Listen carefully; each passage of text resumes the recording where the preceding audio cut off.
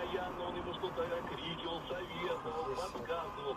Но дело в том, что во втором тайме все то же самое стало относиться к условному Темникову или Козлову.